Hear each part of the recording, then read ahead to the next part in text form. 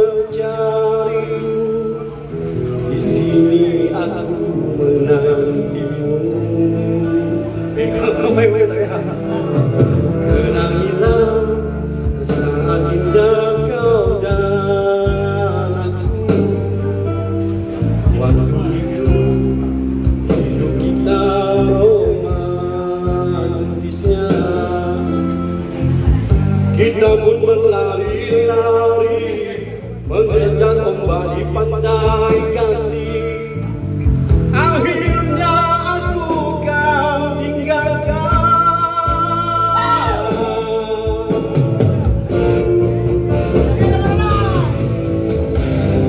sedang